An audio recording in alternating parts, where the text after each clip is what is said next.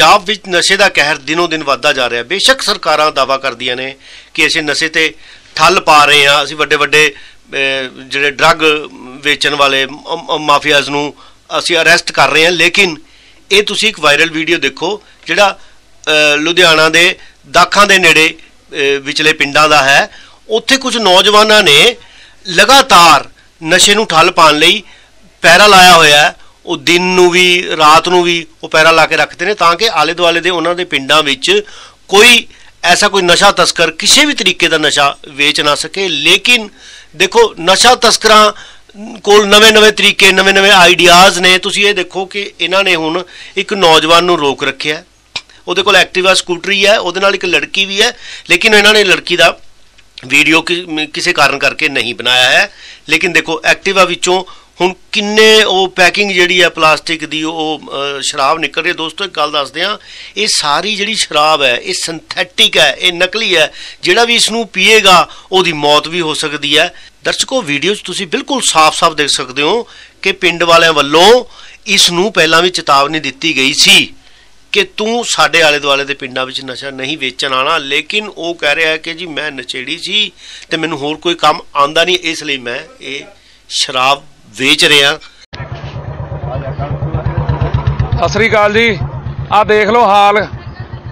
ਆਹ ਦੇਖੋ ਆਹ ਦੀ ਸਕੂਟਰੀ ਦੇ ਵਿੱਚ दारू ਘਰ ਦੀ ਆ ਦੇਖੋ ਪੈਕ।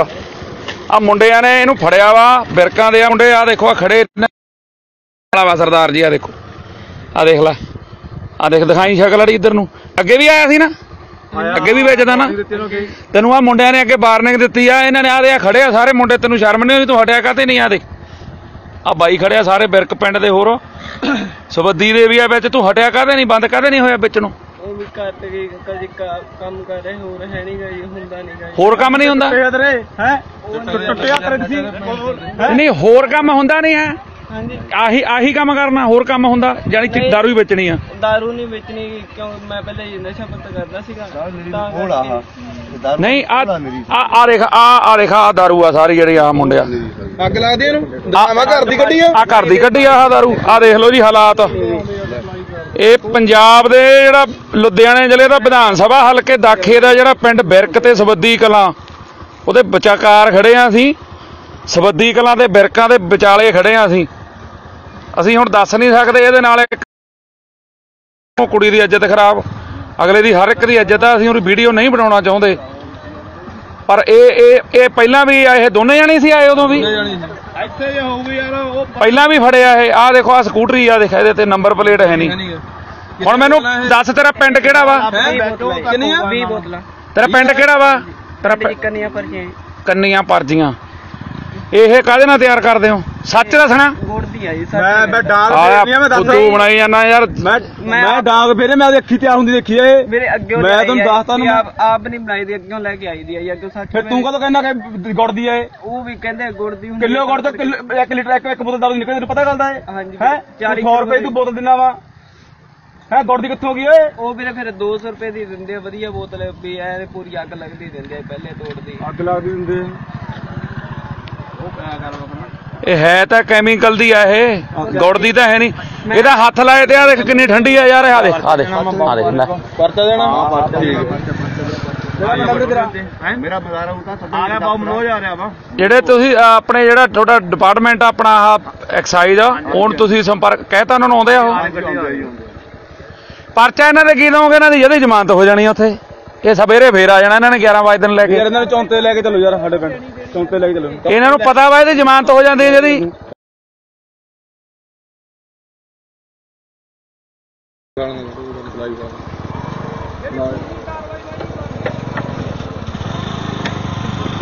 ਇਹ ਤੁਹਾਨੂੰ ਦੱਸ ਦਈਏ ਵੀ ਇਹ ਅ, ਜਿਹੜਾ ਇਹ ਇਹ ਪਿੰਡ ਬਿਰਕ ਦੇ ਨਾ ਨੌਜਵਾਨਾਂ ਨੇ ਕੋਈ ਬੀੜਾ ਚੁੱਕਿਆ ਪਿਛਲੇ ਕਈ ਦਿਨਾਂ ਤੋਂ ਜਿਹੜਾ ਨਸ਼ਿਆਂ ਖਿਲਾਫ। ਇਹਨਾਂ ਨੇ ਆਪਣੇ ਪਿੰਡ ਦੇ ਵਿੱਚ ਜਿਹੜਾ ਨਸ਼ਾ ਵੇਚਣ ਵਾਲੇ ਆਉਂਦੇ ਸੀ ਜਾਂ ਹੋਰ ਉਹ ਬੰਦ ਕੀਤੇ ਆ। ਇਹ ਮੁੰਡੇ ਪਹਿਰਾ ਦਿੰਦੇ ਸੀ ਆਦੇ ਆ ਸੋਟੀਆਂ ਲੈ ਕੇ ਤੁਰੇ ਫਿਰਦੇ ਆ, ਇਹਨਾਂ ਨੇ ਫੜਿਆ ਇਹ। ਅੱਜ ਵੀ ਇਹਨਾਂ ਨੇ ਪਤਾ ਨਹੀਂ ਕਿਹੜੇ ਹਿਸਾਬ ਨਾਲ ਇਹ ਮੁੰਡਾ ਘੇਰਿਆ ਇਹਨਾਂ ਨੇ ਪਤਾ ਨਹੀਂ ਕਿੰਨੀ ਇਹਦੇ ਨਿਗਾਹ ਰੱਖੀ ਹੋਊਗੀ। ਨਾਲ ਇਹਦੇ ਇੱਕ ਲੜਕੀ ਵੀ ਆ ਪਰ ਅਸੀਂ ਇੱਜ਼ਤ ਪੱਖੋਂ ਉਹਦੀ ਤਸਵੀਰ ਤੁਹਾਨੂੰ ਨਹੀਂ ਦਿਖਾਉਣਾ ਚਾਹੁੰਦੇ ਨਹੀਂ ਬੋਲਣਾ ਚਾਹੁੰਦੇ ਇਹਦਾ ਨਾਂ। ਜੇ ਇਹ ਕਮਲਾ ਵਾ ਤਾਂ ਅਸੀਂ ਨਹੀਂ ਕਮਲੇ ਅਸੀਂ ਫਿਰ ਵੀ ਉਹਦੀ ਇੱਜ਼ਤ ਕਰਦੇ ਆ ਔਰਤ ਦੀ। ਠੀਕ ਆ? ਪਰ ਮਾੜੀ ਗੱਲ ਆ ਇਹਨਾਂ ਦੇ ਵਾਸਤੇ ਜਿਹੜੀ ਇਹ ਇਹ ਜਿਹੜੀ ਜਾਨਲੇਵਾ ਦਾਰੂ ਆ ਖੋਲੜੀ ਇਹਨੂੰ। ਉਹ ਕਿ ਦਿਖਾ? ਲੈ ਆ ਦੇਖ ਲਓ। ਕਿੰਨੀਆਂ ਬੋਤਲਾਂ ਵਾ ਇਹ? ਆਹ ਬੋਤਲਾਂ ਕਿੰਨੀਆਂ ਇਹ? ਇਹ? 20 ਬੋਤਲਾਂ। 100 ਦੀ ਵੇਚਦੇ ਹੋ ਇਹ? ਹਾਂਜੀ 50 ਰੁਪਏ 'ਚ ਤਿਆਰ ਹੁੰਦੀ ਆ ਕਾਈ ਬਣੀ ਬਣਾਈ ਲੈਂਦੇ ਹੋ ਤੁਸੀਂ? ਇਹ 60 ਰੁਪਏ ਦੀ ਦਿੰਦੇ ਆ ਬੋਤਲ। ਤੁਹਾਨੂੰ ਅੱਗੇ ਜਦ ਇਹਨਾਂ ਨੇ ਫੜਿਆ ਉਦੋਂ ਪਿੰਡ ਦਿਆਂ ਨੇ ਉਦੋਂ ਤੁਹਾਨੂੰ ਰੋਕਿਆ ਤੁਸੀਂ ਦੁਬਾਰਾ ਕਿਉਂ ਆਏ ਫਿਰ? ਉਦੋਂ ਤੁਹਾਡੀ ਦਾਰੂ ਉੱਥੇ ਡੋਲੀ ਸੀ ਨਾ ਫੜ ਕੇ ਤੇ ਤੁਸੀਂ ਦੁਬਾਰਾ ਕਾਹਤੇ ਆਏ ਤੁਸੀਂ? ਦੁਬਾਰਾ ਕਾਹਤੇ ਆਏ? ਜਦ ਤੁਹਾਡਾ ਭੜਾਂਗਾ ਕੀਤਾ ਇਹਨਾਂ ਨੇ ਤੁਸੀਂ ਦੁਬਾਰਾ ਫੇਰ ਕਾਹਤੇ ਆਏ? ਬੜਾਂਗਾ ਇਹਦਾ ਹੋਇਆ ਨਹੀਂ ਇਹਨੂੰ ਵਾਰਨਿੰਗ ਦਿੱਤੀ ਸੀ। ਵਾਰਨਿੰਗ ਦੇ ਕੇ ਜਨਾਨੀ ਤੇਰੇ ਨਾਲ ਆ ਤੂੰ ਭੱਜ ਜਾ ਤੇ ਅੱਜ ਫੇਰ ਮੁੜ ਗਿਆ ਪਹਿਲਾਂ ਵੀ ਦੇ ਕੇ ਜਾਂਦਾ ਏ। ਬੰਦ ਕਰ ਦੇ ਹਾਂ? ਚੱਲ ਉੱਥੇ। ਚੌਂਕ ਤੇ ਲੈ ਜਾ ਉੱਥੇ ਅੱਧੀ ਕੇ ਪਾਰ ਦੇ ਅੱਧੀ ਕਿੰਨਾ ਦੇ ਦੇ ਵਧੀਆ ਕਰ ਲੈਂਗੇ ਚੱਲ ਸਕੂਟੀ ਚਲਾ ਚੱਲ ਮੋੜ। ਮੋੜ ਇਹਨੂੰ। ਮੋੜ ਤਾਂ ਨਹੀਂ ਤੂੰ ਜਾ ਮੋੜ ਮੋੜ ਬੈਠ ਬਾਈ ਐਕਸਾਈਜ਼ ਵਾਲੇ। ਬੈਠ ਬੈਠ ਯਾਰ ਉਹਨੂੰ ਜਾ ਆਪਣਾ ਮੋਟਰਾਂ ਚੱਕ ਲਿਓ ਚੱਲ ਬੈਠ ਮਗਰ ਕੋਈ ਨਾ ਇਹਦੀ ਤਾਂ ਆਪਾਂ ਕਾਹਨੂੰ ਬਣਾਉਣੀ ਆ ਵਿਚਾਰੀ ਦੀ। ਨਹੀਂ ਨਹੀਂ ਮੈਂ ਗੱਡੀ ਠਾ ਕੇ ਨਾਲ ਲੈ ਚੱਲਣਾ ਪਿੰਡ ਪਿੰਡ ਚੌਂਕ ਤੇ ਜਾ ਕੇ ਜਲੂਸ ਕੱਢਣਾ ਇਹਨਾਂ ਦਾ ਮੈਂ। ਚੱਲ। ਦਰਦ ਬੋਲ ਚੱਕਣਾ ਕਹਿਣ ਦੇ ਆ ਦੇ ਲੈ। ਆਪਣੇ ਮੋਟਰਾਂ ਚੱਕ ਲਿਓ ਕੁੜੀਏ ਸ਼ਰਮ ਮੰਨ ਤੂੰ ਸ਼ਰਮ ਤੂੰ ਕਿਉਂ ਇਹਨਾਂ ਕੰਮਾਂ 'ਚ ਪੈਣੀ ਆ? ਸ਼ਰਮ ਮੰਨ। ਚੰਗੀ ਗੱਲ ਨਹੀਂ ਹੈਗੀ। ਮੈਂ ਆਪਣੇ ਇਹ ਮੋਢਿਆਂ ਤੇ ਗੋਡਿਆਂ ਤੋਂ ਬਹੁਤ ਦੁਖੀ ਸੀ। ਮੇਰੇ ਲਈ ਤਾਂ ਤੁਰਨਾ ਫਿਰਨਾ ਵੀ ਇੰਨਾ ਔਖਾ ਹੋਇਆ ਸੀ, ਮੈਂ ਦੱਸ ਵੀ ਨਹੀਂ ਸਕਦਾ। ਪਰ ਜਦ ਤੋਂ ਮੈਨੂੰ ਫੀ ਰਿਲੀਫ ਮਿਲਿਆ ਢਾਈ ਤਿੰਨ ਮਹੀਨੇ ਇਸਤੇਮਾਲ ਕਰਨ ਤੋਂ ਬਾਅਦ ਗੋਡੇ ਵੀ ਓਕੇ ਮੋਢੇ ਵੀ ਓਕੇ ਜੇ ਤੁਸੀਂ ਵੀ ਕਿਸੇ ਇਸ ਤਰ੍ਹਾਂ ਦੀ ਬਿਮਾਰੀ ਤੋਂ ਪਰੇਸ਼ਾਨ ਹੋ, ਤੇ ਬੇਸਹਾ, ਬੇਝਿਜਕ ਹੋ ਕੇ ਇਸ ਨੂੰ ਇਸਤੇਮਾਲ ਕਰੋ। ਸਿਰਫ ਢਾਈ ਤਿੰਨ ਮਹੀਨੇ, ਇਹ 125 ਬਿਮਾਰੀਆਂ ਤੱਕ ਦੇ ਇਲਾਜ ਕਰ ਸਕਦਾ ਹੈ। ਫੀ ਰਿਲੀਫ ਹਮੇਸ਼ਾ ਯਾਦ ਰੱਖੋ ਬਸ। ਕੁਝ ਦਿਨਾਂ ਤੋਂ ਮੈਨੂੰ ਵਾਲਾਂ ਦੀ ਬੜੀ ਸਮੱਸਿਆ ਸੀ। ਮੇਰੇ ਵਾਲ ਝੜਨੇ ਸ਼ੁਰੂ ਹੋ ਗਏ ਸੀ। ਮੈਨੂੰ ਮੇਰੇ ਦੋਸਤ ਨੇ ਆਇਲ ਫੀ ਰਿਲੀਫ ਵਾਲੇ ਦੱਸਿਆ।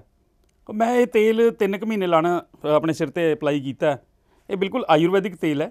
ਇਹਦਾ ਕੋਈ ਸਾਈਡ ਇਫੈਕਟ ਨਹੀਂ ਹੈ। ਤੇ ਮੇਰੇ ਵਾਲ ਜਿਹੜੇ ਗੰਜਪਣ ਪੈਣਾ ਸ਼ੁਰੂ ਹੋ ਗਿਆ ਸੀ, ਉਹ ਦੁਬਾਰਾ ਆਉਣ ਲੱਗ ਗਏ। ਤੇ ਮੈਨੂੰ ਤਾਂ ਬੜਾ ਫਾਇਦਾ ਦਿੱਤਾ ਇਸ ਨੇ। ਜੇ ਤੁਹਾਨੂੰ ਵੀ ਕਿਸੇ ਇਸ ਤਰ੍ਹਾਂ ਦੀ ਪ੍ਰੋਬਲਮ ਦਾ ਤੁਸੀਂ ਸਾਹਮਣਾ ਕਰ ਰਹੇ ਹੋ, ਤਾਂ ਇਹ ਤੇਲ ਲਾਣਾ ਨਾ ਭੁੱਲੋ। ਕਿਤੇ ਨਾ ਕਿਤੇ ਅਸੀਂ ਆਪਣੇ ਬਾਲਾਂ ਕਰਕੇ ਸ਼ਰਮ ਫੀਲ ਕਰਦੇ ਹਾਂ ਕਿਤੇ ਸੋਸਾਇਟੀ 'ਚ ਬੈਠੇ ਹਾਂ ਕਿ ਕੋਈ ਮਜ਼ਾਕ ਨਾ ਕਰ ਰਿਹਾ ਹੋਵੇ ਪਰ ਥੈਂਕਸ ਟੂ ਫ੍ਰੀ ਲੀਵ ਜਿਨੇ ਮੇਰਾ ਇਹ ਕੌਨਫੀਡੈਂਸ ਬਿਲਡ ਕੀਤਾ, ਜਿਹਦੇ ਲਗਾਨ ਨਾਲ ਮੈਂ ਮਾਰਕੀਟ 'ਚ ਹੁਣ ਬੜਾ ਹੀ ਕੌਨਫੀਡੈਂਟ ਹਾਂ ਔਰ ਇਹਦੇ ਨਾਲ ਮੈਨੂੰ ਬੜਾ ਫਾਇਦਾ ਹੋਇਆ ਤੇ ਮੈਨੂੰ ਸਰਵਾਈਕਲ ਦੀ ਵੀ ਦਿੱਕਤ ਸੀ ਤੇ ਉਹਦੇ ਨਾਲ ਵੀ ਮੈਨੂੰ ਬੜਾ ਰਿਲੀਫ ਮਿਲਿਆ। ਇਹ ਯੂਜ਼ ਕਰੋ ਤੇ ਮੈਂ ਪ੍ਰੈਕਟੀਕਲ ਯੂਜ਼ ਕਰ ਰਿਹਾ।